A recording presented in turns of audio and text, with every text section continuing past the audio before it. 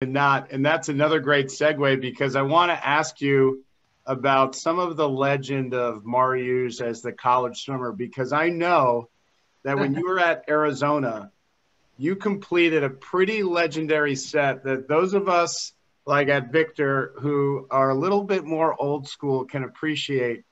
I heard that at one time in practice, you did three 1000s descend on 11 minutes with paddles, buoy, and a tube.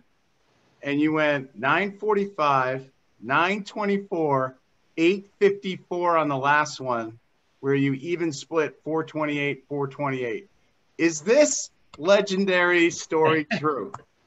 that story is true. And uh, one of our coaches at Arizona reminds me of it every year, Jim Lutz.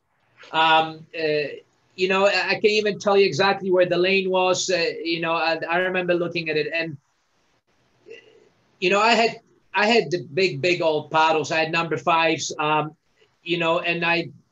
The interesting part is that, you know, one you did different things during those days, but I, I did almost no weights. You know, I, I don't recall having any kind of sustainable period of doing weights. So my strength and conditioning uh, uh, came, you know what, it came from wearing paddles. So, and I love paddles. I love, you know, because uh, being a, a, lengthy guy, uh, you know, not to say that my, you know, that I was an athletic, I thought I was, but my core was never developed and I was not a kicker.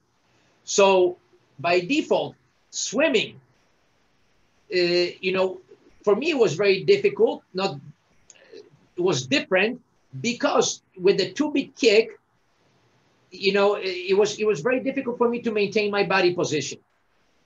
When you put pull buoy on me, that eliminated me having to keep my hips up. Now, when you put a tube on me, even though the tube was inflated and, and he dragged a lot of water behind it, it was helping keep my feet up.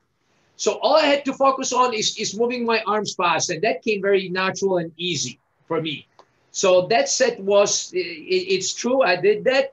Um, you know, in all honesty, I, I, uh, I'm very proud of it, but I, I wouldn't call it my, uh, my toughest set that I've ever done. Uh, you know, somehow it became, became the one that that's, you know, that, that